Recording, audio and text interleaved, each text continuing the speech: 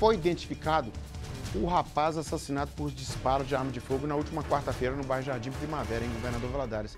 Miguel Leonardo Fernandes de Almeida é apontado como um dos quatro suspeitos de envolvimento no homicídio de duas irmãs em janeiro, no Vale do Aço, né? O Lucas Alves chega para repercutir isso aqui. Seria então provavelmente vingança ou retaliação, né, Lucas? Boa tarde para você. É, essas são as possibilidades, Nico. Boa tarde, boa tarde a todos. Miguel Leonardo, um jovem de 18 anos, ele foi encontrado, ele era morador do bairro Esperança, em Ipatinga, e foi assassinado a tiros na manhã desta quarta-feira. Ele foi encontrado baleado na rua Margaridas, no Jardim Primavera, um bairro aqui de Governador Valadares. É, os policiais militares eles foram acionados, Nico, por um morador que se deparou com a vítima caída com ferimentos no rosto e estava ensanguentado. A vítima, é, segundo informações da polícia, estava foragida da justiça com o mandato de prisão em aberto, apontado como um dos quatro suspeitos do envolvimento do homicídio de duas irmãs.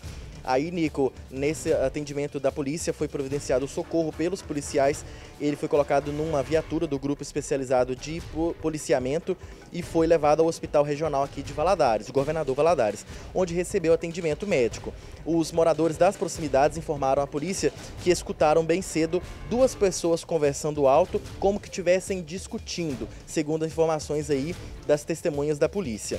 Pouco, de, pouco tempo depois deste chamado, eles ouviram, as testemunhas ouviram o disparo de arma de fogo. E Miguel, ele acabou não resistindo e morrendo horas depois.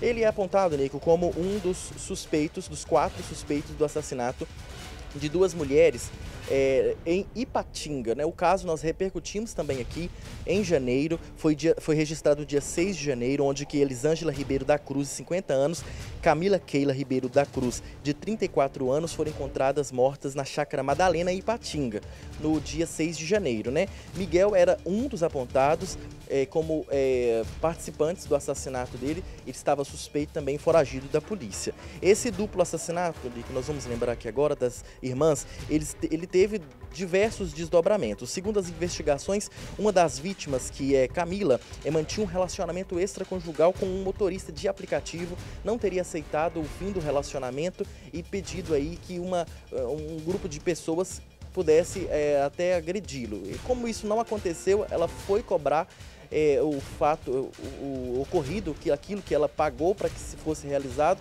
momento em que ela foi, é, segundo informações da polícia, sequestrada ela e a irmã, o carro depois foi encontrada e elas foram encontradas mortas também. Então aí está o caso agora do assassinato muito suspeito, cabe diversa investigação da polícia também do assassinato de Miguel é, nesta quarta-feira aqui em Governador Valadares. Eu volto com você.